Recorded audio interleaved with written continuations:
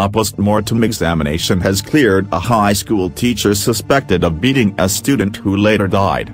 Kennedy Fundy, a Form 3 orphan student at Kangaru School, died on March 11.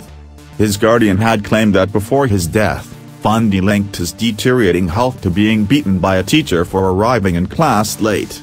But a post-mortem report signed by Daniel Zuriel, a consultant pathologist, dated April 15, 2019, states that Fundy died of respiratory failure due to severe pulmonary infection with tuberculosis. According to the report, excess pus was found in Fundy's chest cavity. The pus had infiltrated his heart and lungs. There was also presence of pus-forming infection within the muscles of the left thigh. These are features of a severe infection, stated the report. The report stated that there was no evidence that trauma was involved in the death, as there were no fractures and no evidence of tissue injury where Fundy is said to have been beaten. There is no evidence that the cause of the death in this young man was due to any other pathology than the above mentioned, concludes the report. Fundy died at the Nairobi Women's Hospital, where he had been referred after his condition deteriorated. He had first been admitted to Embu Children's Hospital Tenri.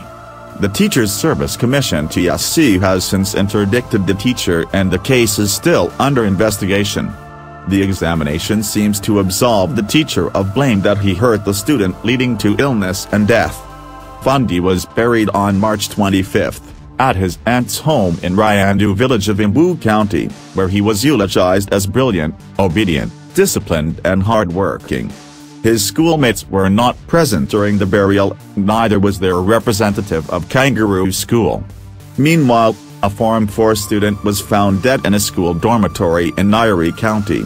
The body of the student at Huligati Boys Secondary School in Mathira West Sub-County was found by his classmates on Saturday morning.